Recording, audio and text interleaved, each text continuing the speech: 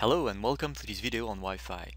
This video is a bit different from the others because usually in this series we show you some configuration whereas here uh, this is just a small video to answer a question I often get from people working on Wi-Fi and it is why is it that voice is marked as 6 on the Wi-Fi side while we say it should be marked as 5 on the Ethernet side. What is the reason for that? So this is a video on the history of why this is. And you know if you configure your QoS profile page and you set the QoS profile to platinum, which is intended for voice, the expected max DSCP value for voice would be EF, which is 46. And if you want to activate some 802.1p marking, you would set the uh, protocol at the bottom, and the value you see here is by default 5. And that's something you also have seen if you know this classical uh, Cisco mapping table for QoS mapping on AireOS, where you see that in a, the 802.11e value you would see 6, whereas for the Ethernet value you would see 5 for voice, and same logic for video by the way, where it's 5 on the Wi-Fi side and 4 on the Ethernet side, etc.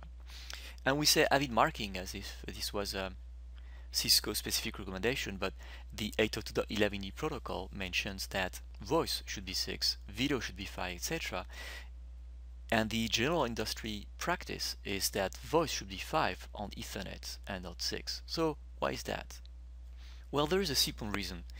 It is that when the 802.11e protocol was developed between 2002 and 2004, it actually was derived from some work that Microsoft and some other companies did together to try to develop a QoS scheme for Wi-Fi devices. And that common effort was called WME, and it was used as the basis to develop 802.11e.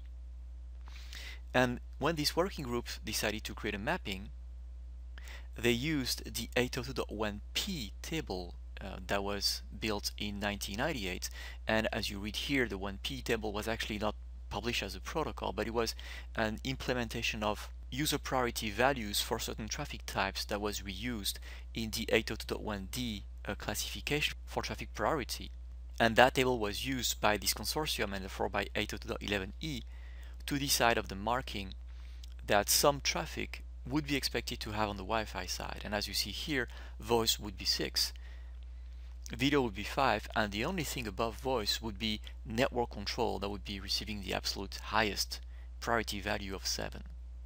So that was in 2002, 3 and 4 while the 802.11e was developed work on the 11e protocol ended in about 2004 and the protocol was finally published in 2005.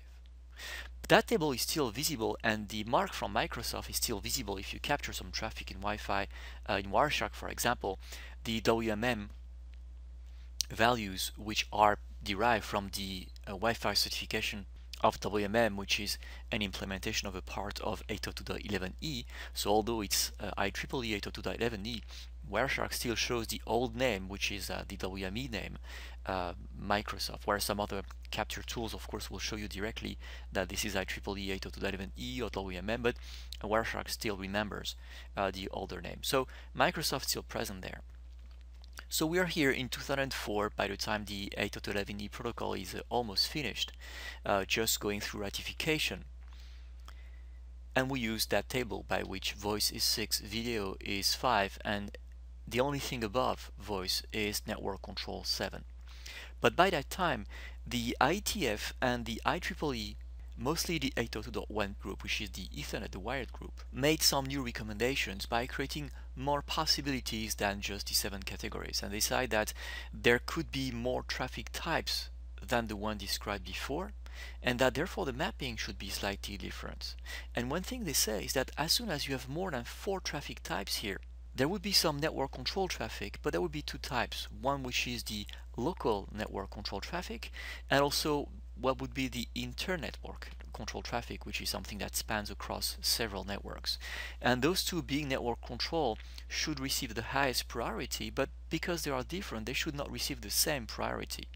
So they decided together to downgrade the user traffic one notch down. So voice comes from 6 and goes to 5, video from 5 goes to 4, and then 6 and 7 are reserved for the inter-network traffic and the network control traffic. And this is true for any case where you have more than 4 queues. So as the years went by, most of the industry in the Ethernet world started adopting this new recommendation. And now I'm recording this in 2015 most of the industry tags voice as 5 at layer 2 video as 4 at layer 2 that is on the wired side but when this recommendation was made in 2005 the IEEE had already published the 802.11e standard amendments and it was too late to change it so in between, by the way, Microsoft started working in three directions. Um, and one of them is to recommend that the layer 2 marking should be the same regardless of the medium to which you're sending a frame. So if voice is marked as 5 by 802.1p on the wired side, it should be marked as 5 on the wireless side as well. So actually Microsoft made a presentation at the IEEE and the Wi-Fi Alliance in 2014 suggesting that we should change the 802.11e old marking to a new marking by which voice should be 5 and video should be 4 instead of the current and probably old 6 and 5 respectively. This idea has a lot of merit, but the reaction from the IEEE 802.11 working group and Wi-Fi Alliance was that changing this marking might be likely to disrupt the industry and that it might be better for a while at least to keep this translation between 6 for voice on Wi-Fi and 5 for voice on the wired side at the point of the access point or the point of the controller rather than changing the marking with the disrupting effect that this may have. The idea was reinforced by the notion that Wi-Fi is an access medium, so there is no network control traffic or internetwork control traffic on Wi-Fi because it's not the core medium, it's access. And that kind of traffic, network control or internetwork control, is not wanted on that kind of access medium. So moving to this new scheme that may make sense on the Ethernet side would actually block two user priorities, 6 and 7, that would be reserved for traffic that we do not want already with the current scheme that is derived from a recommendation from 1998, remember? We are not using 7 or barely at all because the first useful traffic that we see is voice and that is 6.